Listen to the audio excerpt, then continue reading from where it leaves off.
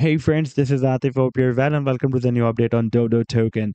In my previous video of Dodo, I was showing you that after breaking out a very big falling wedge pattern on the weekly time frame chart, Dodo token also broke out another descending triangle as well. And this was the video, by the way. And now if we take a look at the live chart, then you can see that after breaking out this triangle, the price line is dropped down after a short rally. It is now testing this previous resistance of the triangle as a support. And in today's video, we will once again take a look at this move. But before starting this analysis, if you are not subscribed to my channel, then do subscribe it. And for more trading signals, you can also join me and support me as a YouTube member or as a Patreon member because here I am sharing different trading signals for you. And you can find a link to join me here in the video's description I've shared. So let's start the analysis. And first of all, let me begin with my most recent trade signal for a Dodo token that was, by the way, I shared in the month of November 2022 with my members. And that was a harmonic bullish reversal cipher pattern that Dodo token formed on a four hour time frame chart with US dollar pair. And if I play this chart, then you can see that the price line started a very nice reversal from this buying zone. And this was, by the way, more than 70% pump. You can see it rallied beyond the sell target. And this was almost 70% pump on this four hour time frame chart.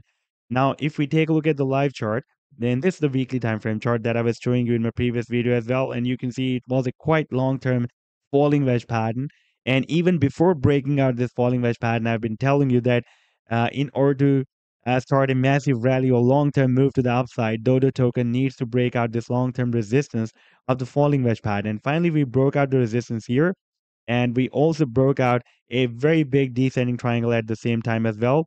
And the target for this triangle after the breakout uh, was, let me just show the target for the, uh, the triangle first that we were expecting was here that was approximately at uh, 33.6 cents. And you can see that the price line has rallied up to 35.33 cents. That is beyond or slightly above this target. And here we have a very, very long-term resistance at 32 cents. And you can see that the price line could not break out this resistance level. And previously, this level has been breaking as a resistance here for several weeks.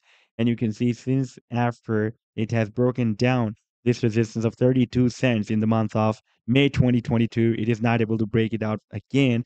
And in order to continue its move to the upside, now we need to break out this long-term resistance. Now, on a daily time frame chart, recently Dodo token has formed this falling wedge pattern. And for example, if the price line breaks down the support of this wedge, then the target to the downside can be here. That will be approximately at uh, 4.4 cents.